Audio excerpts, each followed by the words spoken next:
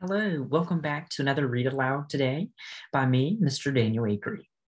So today I will be doing a chapter read aloud of a few chapters of The One and Only Ivan. It's written by Katherine Applegate. The One and Only Ivan is for grades fifth and sixth. It's a graded reading level S, which is recommended for fourth and fifth grades. This book is a children's literature fiction novel However, this book is one I highly recommend to any reader at some point, as it deals with hope, friendship, and was inspired by a real silverback gorilla named Ivan, who was held captive for 27 years. This book looks at compassion for animals. Students, I know you will enjoy this book because the story is of a gorilla named Ivan, elephants named Stella and Ruby, and a stray dog named Bob. Who doesn't love a story of animals and told by an animal? Have you heard of a gorilla that makes artwork and watches TV? Well, if not, then students will love hearing about what Ivan can do and what the animals will fight for. This book is broken into small chapters and using simple language to allow all students to grasp the meaning.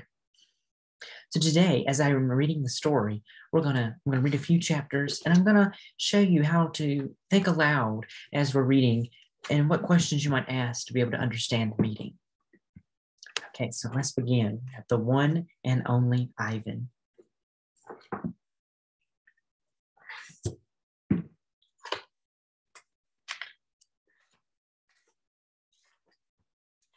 We're going to start at chapter one, and they're small chapters. Um, before we begin, let's take a quick look and predict what the story might be about. So we have our front cover here. As you can see, the one and only Ivan. So I see a picture here of an elephant and a gorilla. It looks like there's a spotlight on them. We can see some maybe forest in the background. So I'm thinking the book is talking about an elephant and a gorilla and also looking at maybe the forest. Okay, let's see if we can see any pictures in our book. Oh, I see a picture of a gorilla and that's a banana peel there, banana. Okay, let's see if I can find any other pictures in our book here so we can predict maybe what the story might be about. Okay, I see a billboard here about animals. So maybe we're looking at a zoo or something, or where animals might be kept. Maybe this is a circus or something. We'll, we'll find out. Let's see. We have a few more pictures here. Oh, I don't really like this picture too much. There's an elephant, and it's kind of circled. And does that elephant look happy or sad? Yeah, it looks kind of sad. It's kind of sad. So clearly, we're going to be looking at maybe treatment of animals. We see some clouds, so we're going to clearly be looking at nature. nature. What other predictions might we make from pictures? Maybe what the story is about or what's happening. So I see a picture here, and what does that look like? Looks like a gorilla print, maybe some artwork was taking place. Okay, so artwork will be involved. And then we see a picture of a gorilla and it looks like the gorilla is painting and there's a, an elephant asleep over here, but the gorilla is working hard. So based on looking at our few pictures here in our chapter book, we can figure out what characters and maybe a few events that might take place. Okay, and so once again, the one and only Ivan. So let's begin with chapter number one.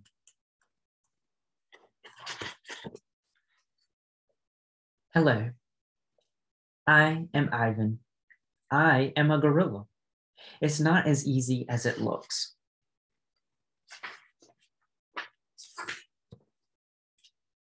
Chapter Names People call me the freeway gorilla, the ape at exit 8, the one and only Ivan, mighty silverback. The names are mine, but they're not me. I am Ivan, just Ivan, only Ivan. Humans waste words, they toss them like banana peels and leave them to rot. Everyone knows the peels are the best part. I suppose you think gorillas can't understand you. Of course, you also probably think we can't walk upright. Try knuckle walking for an hour. You tell me which way is more fun. I've learned to understand human words over the years, but understanding human speech is not the same as understanding humans. Humans speak too much. They chatter like chimps, crowding the world with their noise, even when they have nothing to say. It took me some time to recognize all those human sounds, to weave words into things. But I was patient. Patience is a useful way to be when you're an ape. Gorillas are as patient as stones. Humans, not so much. Okay, so on these first few pages here, I'm seeing that the gorilla has different names. The gorilla wants to be recognized as Ivan. The gorilla also has patience and is talking about his interactions and viewing of humans and trying to figure out um, about humans and the human speech. So we can tell that this is the point of view of Ivan, a gorilla. How I look. I used to be a wild gorilla, a gorilla's sly, a gorilla's shy gaze, a gorilla's sly smile. I wear a snowy saddle of fur, the uniform of a silverback. When the sun warms my back, I cast a gorilla's majestic shadow. In my size, humans see a test of themselves. They hear fighting words on the wind when I am thinking is how the late day sun reminds me of a ripe nectarine. I'm mightier than any human. 400 pounds of pure power. My body looks made for battle. My arms, outstretched, span taller than the tallest human. My family tree spreads wild and as well. I am a great ape, and you are a great ape. And so are chimpanzees and orangutans and bonobos, all of us distant and distressful cousins. I know this is troubling. I too find it hard to believe there is a connection across time and space linking me to a race of ill mannered clowns, chimps, there's no excuse for them. So as you can tell here, this is the text that I'm reading. And at the top, we have the chapters, headings about what we're talking about. And so here, the gorilla is giving us an imagery of what he looks like, what he thinks others think he looks like, and his family tree of what other species. The Exit 8 Big Top Mall and Video Arcade. I live in a human habitat called the Exit 8 Big Top Mall and Video Arcade. We are conveniently located off I 95 with shows at 2, 4, and 7, 365 days a year. Max says that when he answers the trilling telephone. Mack works here at the mall. He is the boss. I work here too. I am the gorilla. At the Big Top Mall, a creaky music carousel spins all day, and monkeys and parrots live amid the merchants. In the middle of the mall is a ring with benches where humans can sit on their rumps while they eat soft pretzels. The floor is covered with sawdust made of dead trees. My domain is one of is at one uh, end of the ring. I live here because I am too much gorilla and not enough human.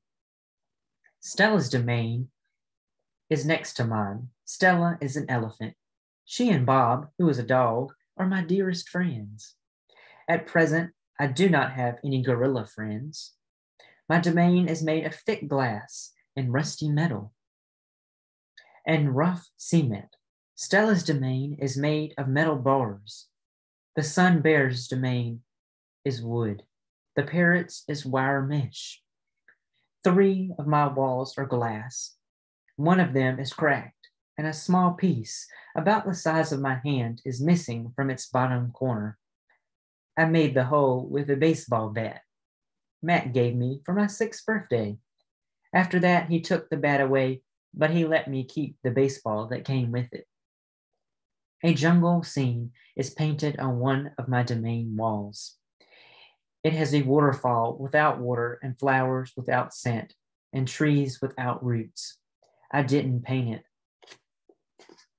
Okay, so here we can see in our text, thinking about what we read here, and one of us, at the one and only Ivan, So, what am I thinking we might be reading about as we're reading this text here?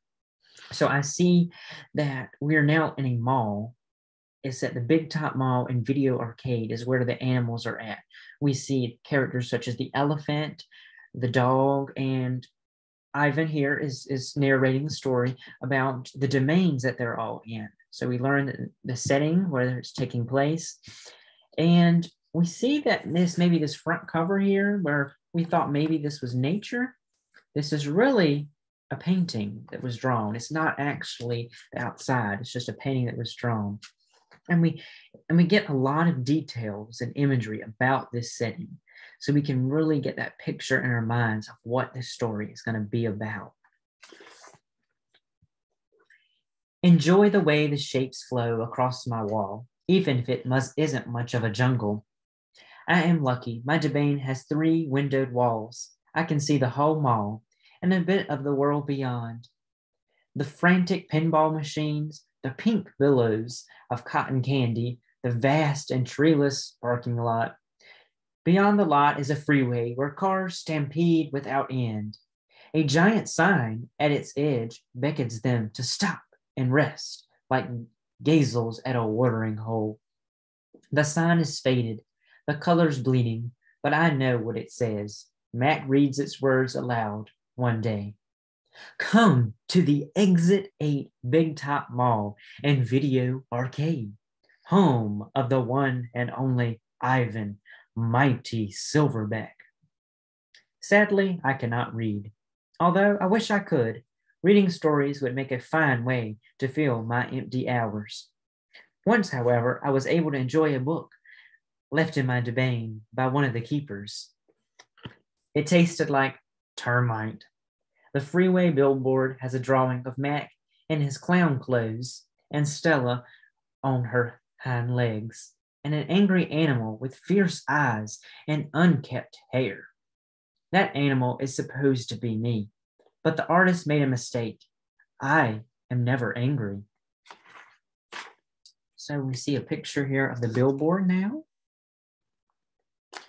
And we're talking about the characters and, and the people that are coming to this mall and the, the domains. And we're also talking about how Ivan wishes he could read. Anger is precious. A silverback uses anger to maintain order and warn his troop of danger. When my father beat his chest, it was to say, Beware, listen, I am in charge. I am angry to protect you, because that is what I was born to do. Here in my domain, there is no one to protect. The littlest big top on earth. My neighbors here at the Big Top Mall know many tricks. They are educated lot more accomplished than I am.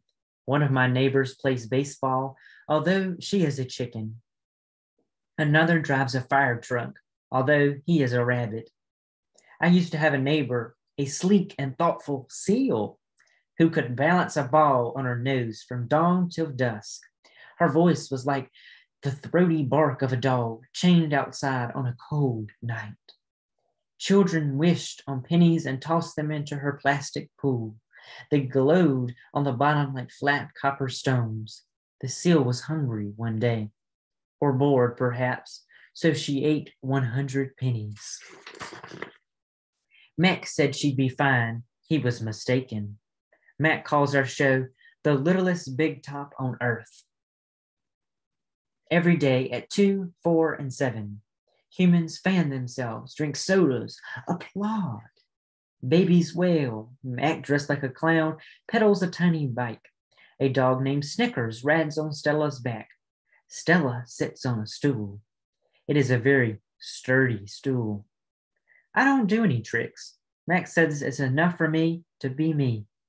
Stella told me that some circuses move from town to town. They have humans who dangle on ropes twining from the tops of tents. They had grumbling lions with gleaming teeth and a snaking line of elephants, each clutching the limp tail in front of her. The elephants look far off to the distance, so they won't see the humans who want to see them. Our circus doesn't migrate. We sit where we are, like an old beast, too tired to push on. After our sheen show, humans forage through the stores. A store is where humans buy things they need to survive. At the Big Top Mall, some stores sell new things, things like balloons and t shirts and caps to cover the gleaming heads of humans. Some, some stores sell old things, things like smelly, dusty, and damp and long forgotten. All day, I watch humans scurry from store to store. They pass their green paper, dry as old leaves, and smelling of a thousand hands, back and forth and back again. They hunt frantically, stalking, pushing, grumbling. Then they leave, clutching bags filled with things bright things, soft things, big things. But no matter how full the bags, they always come back for more. Humans are clever indeed. They spin pink clouds you can eat. They build domains with flat waterfalls, but they are lousy hunters. So, as we're reading on this chapter, the littlest big top on earth, Ivan describes to us the habitat, the mall that we're at, and what he's hearing from Stella the elephant about what outside might look like, other circuses and how they are. But what we can really gather from Ivan is he's very bored. He seems like he's uninterested, doesn't have any tricks he does, and he's just kind of tired of this circus. It seems like we're already getting that impression. And so I'm going to stop here after this chapter. And so the next chapters that come up are Gone and Artist on page numbers 14 and 15. So I highly encourage you to finish this novel. It's a really great chapter book. Again, The One and Only Ivan by Katherine by Katherine Applegate. So the main idea of the book is on hope, friendship, loyalty, confinement, and compassion for animals. We see a theme emerge in the book as animal rights and animal cruelty, as these animals are stuck in a shopping mall, far away from any natural habitat, and are forced to perform tricks. Additionally, the story looks at ultimately the healing power of art and is a hopeful story. And if you continue um, reading, you'll see how Ivan uses his art as a way to escape. Thank you for watching today my read aloud of the one and only Ivan. I hope you enjoyed it, and I've included some discussion questions on my website below um, that will allow you to think deeper about the novel. I hope you go check out the book and read some more. All right, see you next time.